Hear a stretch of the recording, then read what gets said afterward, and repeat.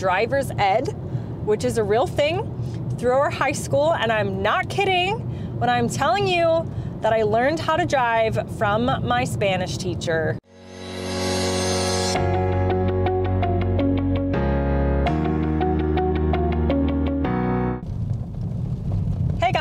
Welcome back to the Girl Gone London channel. If you're new here, my name is Kalyn. I'm an American who's lived in the UK for almost 10 years, and today I'm doing a video on the differences between driving in the UK and US. So I'm not gonna look at you because I am a safe driver.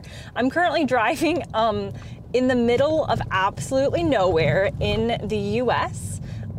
Genuinely, this road is not paved. Um, and there's nothing else around. If you're familiar, we've just finished up at Joshua Tree National Park. So, anyway, uh, if you want more content on life in the UK versus the US, uh, definitely hit subscribe because that is what I talk about on this channel. And for now, let's get into the video. Okay, so the first difference obviously, this is an obvious one. In the US, we drive on the right hand side of the road, and in the UK, we drive on the left hand side of the road. Um, this is again, it's so obvious, but it is a big difference, uh, particularly for visitors who are coming to either country. I always tell visitors from the US to the UK that actually the UK is so well laid out with public transport to not really bother with driving um, because not only would they have to learn the other UK rules of the road, but just driving on the left versus driving on the right can be a pretty big switch. I have been, I learned how to drive in the US. I do have a UK driver's license and I do uh, drive in the UK. Um, and it was it was hard for me to learn to switch to the other side of the road. And when I'm in the US, I do have to make sure that I'm remembering to be on the right hand side of the road. Okay, difference. Oh my God, there's a person. Oh my God, that's like a coyote dog. There's a car coming. Oh my gosh, there's a car coming. Okay, this is seriously like a UK road here though, because I don't, I'm not good at passing cars because I'm American, so I like to leave a hundred um, miles in between us. So this is going to be interesting. You just pull up the bank. There's not going to be enough room for two cars. Just pull up. Just pull up Yeah, go up. Up. Put your car up it a little bit. like that. Not that high. Jeez, we'll Like never that? down. Yeah, that's, that's fine. Do you think they have enough room? Yeah, they're gonna have to. Okay. I don't really know. They're like, this person's not even from here. Talk about how Americans don't say thanks. Okay, number two. Americans in general, since we've been driving here in the US this time, you know what? I my husband wants me to mention this. I'm going to mention this and I'm going to say it's California specific. So, my experience of Florida is I feel like more people do say thank you when you let them in or you know, they're just being polite on the road. I'm not saying Florida drivers are good, but like I was taught to say thank you with like a little wave. People in California don't. They don't ascribe to that belief. They don't do that. Um, whereas in the UK, I think pretty much everybody like says thank you. But another difference, and I think I'm on difference two now, saying thank you. Or is this difference three? I think difference two. In Florida, I was never, ever, ever taught to turn on your hazard lights to say thank you. But in the UK, they definitely use their lights to say thank you. Um, so here, my husband keeps doing it. Is this a road? Okay, hang on. Is this a train track? Oh, no, No, it's a paved road, everyone. We found it. Um, where was I?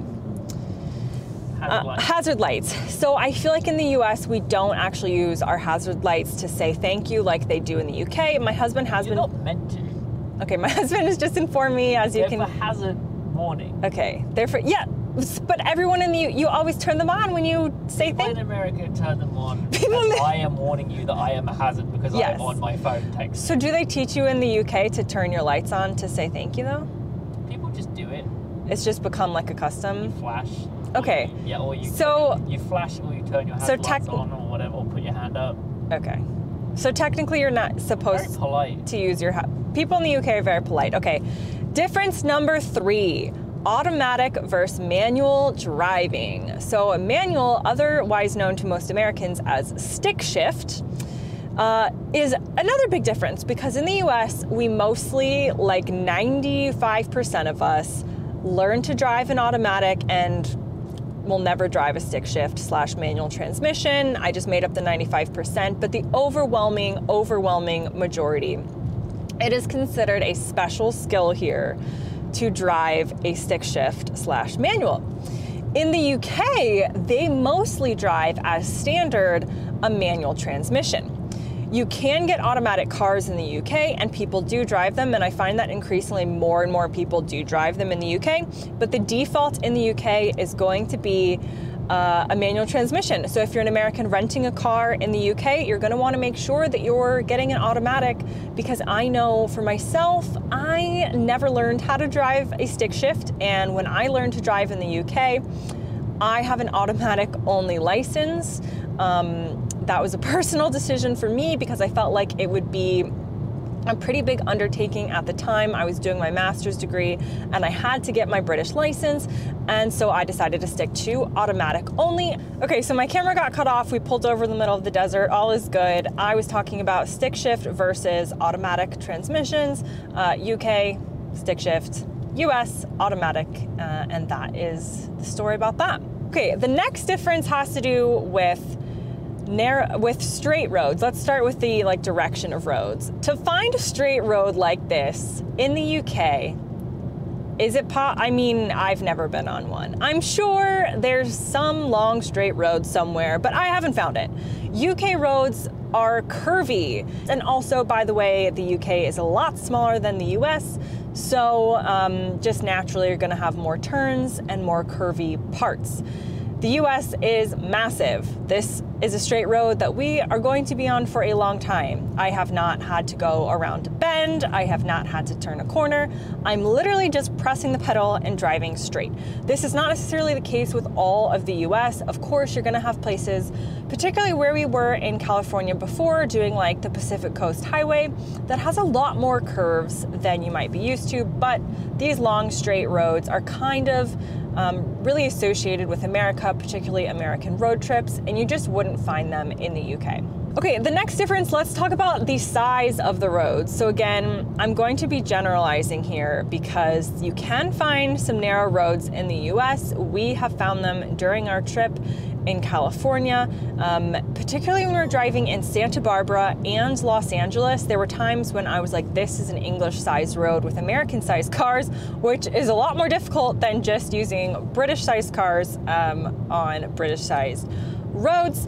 But in general, the size of an American road, the size of American parking spaces are going to be a lot larger, a lot wider than in the UK.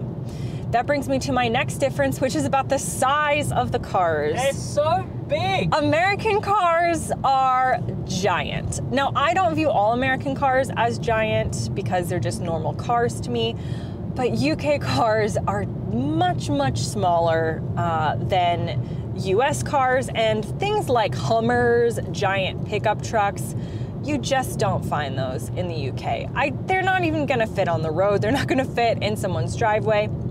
And that's not the culture in the UK. Bigger is not better in the UK. In the US, bigger is better. Giant monster trucks uh, are, people love those. And in general, just like a normal sized, a normal sized car in America is gonna be much bigger than a UK sized car. Now, the next difference to talk about has to do with people driving those cars. So let's talk about driving tests in the UK versus the US. And I'm going to out myself here. I am not necessarily the world's most confident driver in the UK. Um, I have taken a UK test and I have passed. However, my initial driving instruction and driving test in the US in Florida was essentially driving down like a back road and having to park going straight in. We don't do parallel parking on Florida driving tests. Maybe they do them nowadays. We didn't back then. And they definitely weren't going to take you above like 25 miles an hour. Now you can ask yourself, but how do they know that you are actually licensed to drive? Well, they don't, I guess. So we're all left on the roads, mostly to our own devices. Um, the UK driving test is about an hour long. It's very intricate. You have to do all sorts of different maneuvers. Parallel parking is one of those things that you might be asked. Parallel parking is very popular in the UK.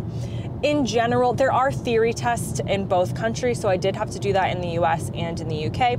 But in general, the driving portion of a UK driving test is so much longer and more intricate than we have in a lot of states in the US. Again, this can differ state to state, so each state will have their own driving test. I can only speak to Florida, but we definitely did not make it hard to pass. Um, another difference with driving lessons and learning to drive has to do with who teaches you to drive.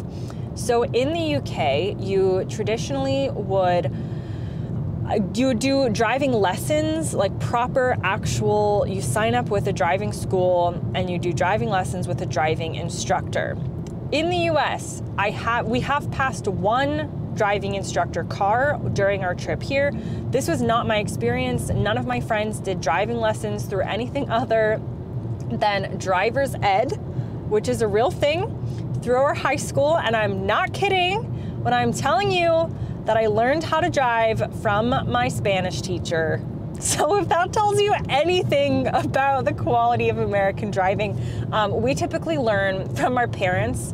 So, like my dad and mom would take me out to drive, we wouldn't really have official lessons. So, take that for what you will. Um, about the difference between American and British drivers. I was taught in my school parking lot by my Spanish teacher, um, and here someone would take like you know, multiple hours of actual instructed lessons with a qualified driving instructor.